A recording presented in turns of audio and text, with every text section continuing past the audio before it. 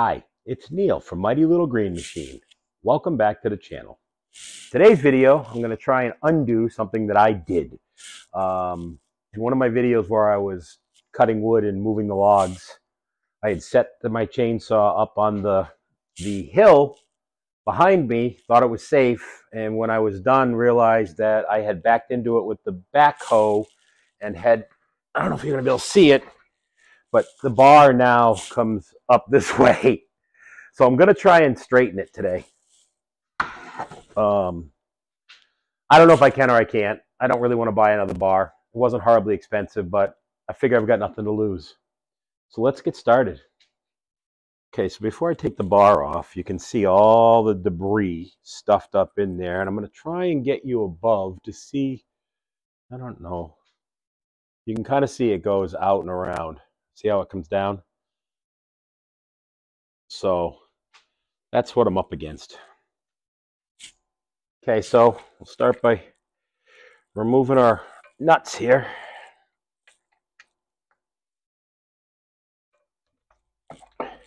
Yeah, uh, if I sound different, it's because I haven't been feeling good lately. I got a cold. And it's been kicking my butt. It's been hard to get myself to the energy to even make a video. But I figured this one was in the garage and it's semi-warm. Although I am wearing my slippers right now. And uh, this floor is cold on my feet. I might have to put real shoes on.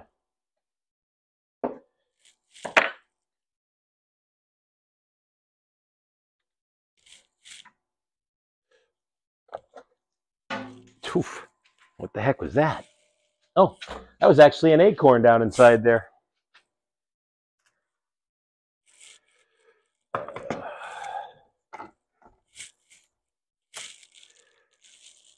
Okay, let's see what this thing looks like.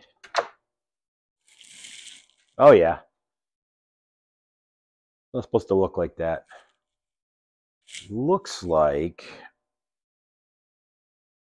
so here's the key. I've got to try and straighten this without pinching the rail for the chain to run in. And I just don't know. Oh, it's got to twist this way too.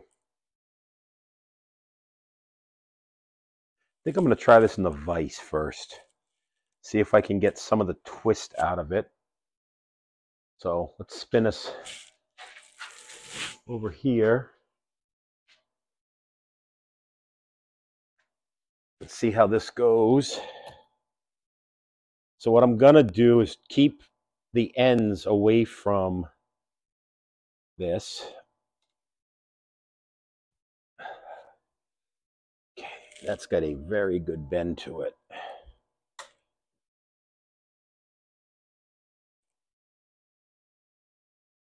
Yeah, let's see if I can move this down and do some more.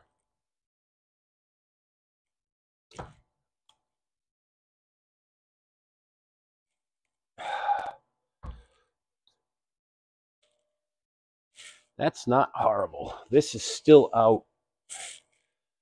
Let's see if I can just spring this back a little bit.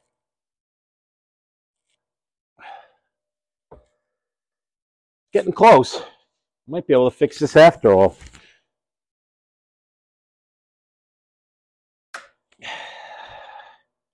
Okay, let's see what this looks like. I've still got too much twist here. So far, my channels look good. Don't know.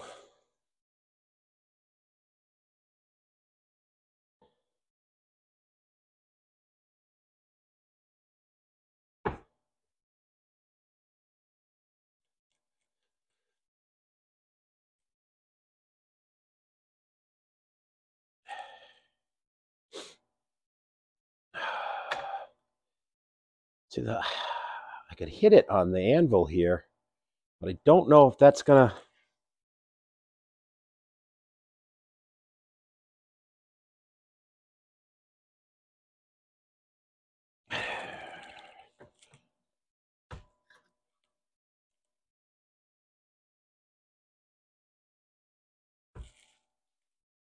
Try and use the bar itself as leverage. That didn't sound good.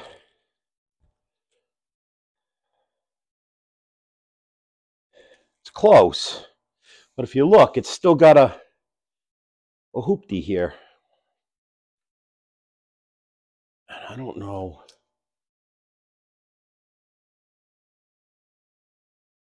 It's really off still.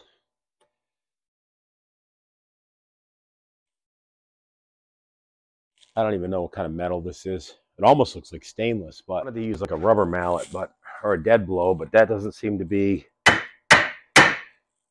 wanting to work. Or I can't find it.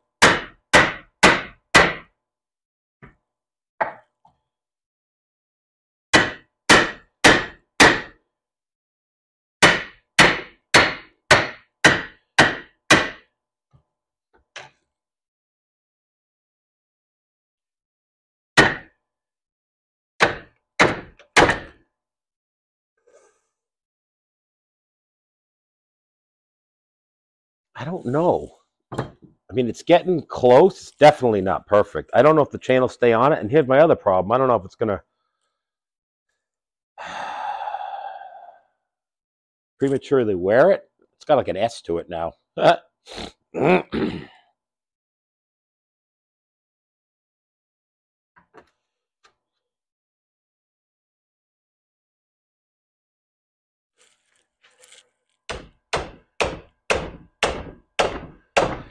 see if I can tighten this more.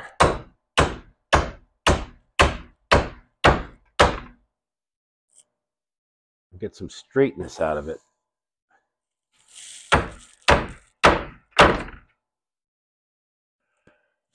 Problem is the steel is really springy.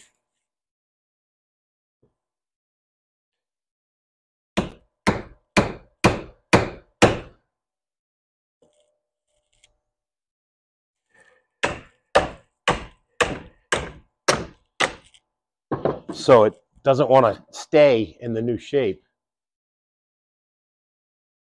Yeah, I think this thing's a goner. Starting to see the rivets through it, stuff like that. Probably could cut with it in a pinch. Problem is I like this size bar, it's 28, so I'm going to have to buy another one.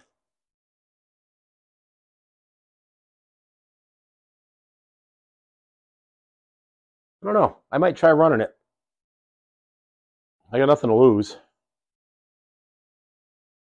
Worst case, it doesn't work. Let's try putting it back together. Oh, you're so bad still. I don't know.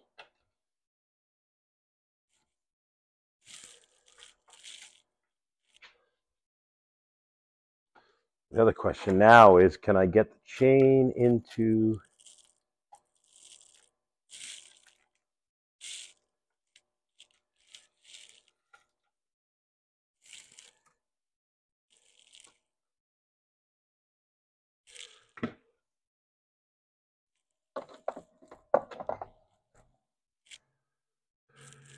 Okay.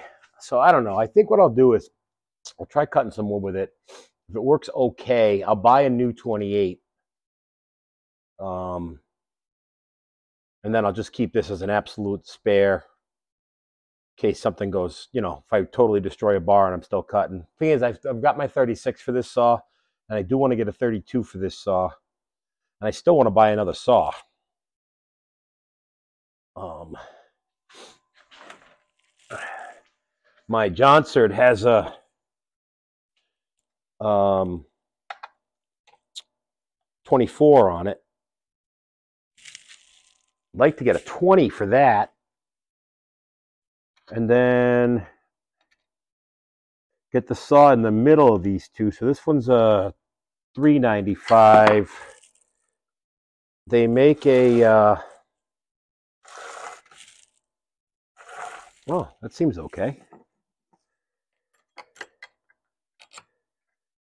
So this is 95 cc's. They make, I think it's a 372 to 72 cc's, which is, and then my Jonsered is a 60 something. So I'd have kind of three different options, and then my limbing saw.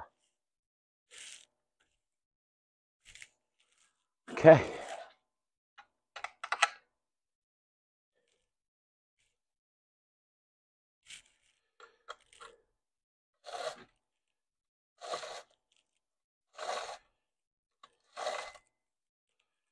Okay.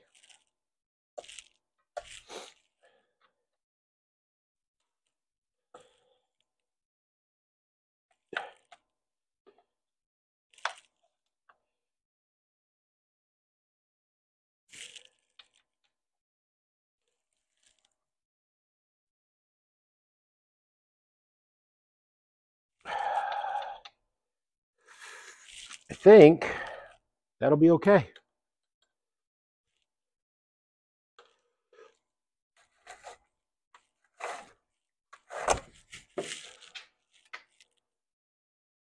Not the best it's ever been, but the good news is I'll be able to cut around corners now. Ah. So if you have more equipment or maybe more skills than I, maybe you could straighten one of these bars better with what I've got. And maybe if I put a little more time into it, I might be able to get it a little bit better, but doesn't quite straighten it perfect. I think it's usable, but I, like I said, I certainly wouldn't want to use it as my main my main bar. Um, and I just don't know. I wouldn't heat it or anything because I just don't know. Uh, so we're going to give that a shot. Next time I'm cutting with it, I'll tell you how it works out because I don't have the energy to go cut today. But that's what that is. So I uh, appreciate you hanging in there with me to do this little project. It's always fun to have you along when I'm doing things. Thanks for watching today. Thanks for supporting the channel. And I'll see you next time on Mighty Little Green Machine.